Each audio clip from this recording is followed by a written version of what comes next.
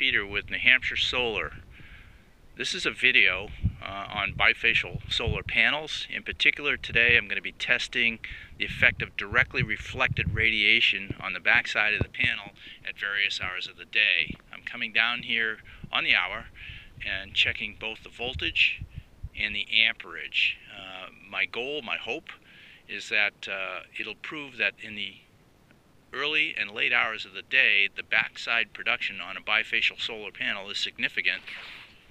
And for customers in snow country, uh, this would logically be their choice for a fixed ground mount. It, it, should make it much more productive, and again, especially at the peripheral hours of the day. This particular panel is an American-made Prism solar panel. They're out of Highland, New York. This is their BI60, and this model is um, rated at 295 watts on the front face and 375 watts with the front and back combined. So uh, let me see. Next, I guess I should mention um, this is being shot on Sky Pond, which is almost dead center in New Hampshire in a town called New Hampton. Uh, as you can see, well, let me turn it this way and focus around. It's a beautiful spot, really. Summertime, uh, they stock it heavily with trout fly fishing only and no motors. Always peaceful.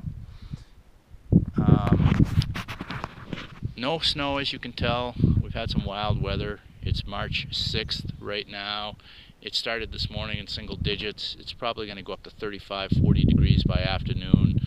Um, but the snow was melted by some abnormally warm weather last month. I mean last week, excuse me.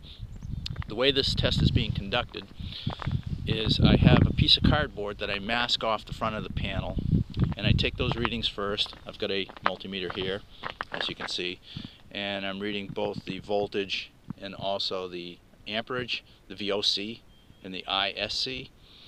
Um, one other thing I should mention on these uh, Prism bifacial solar panels, beautifully constructed, they are frameless.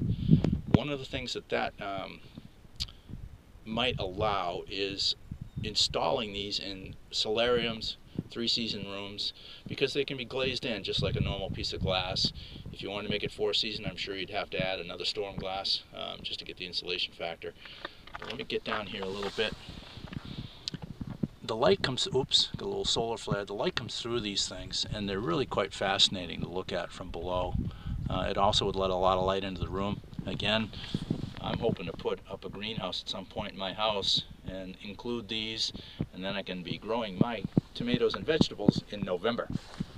So that's my video. I'm going to be um, collecting the results again hourly and compounding them on a graph. You'll be able to find them at my website which is www.nh.solar. Again, www.nh.solar.